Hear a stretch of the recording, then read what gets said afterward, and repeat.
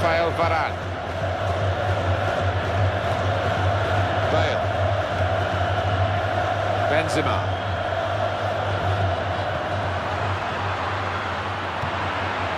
And they managed to score here.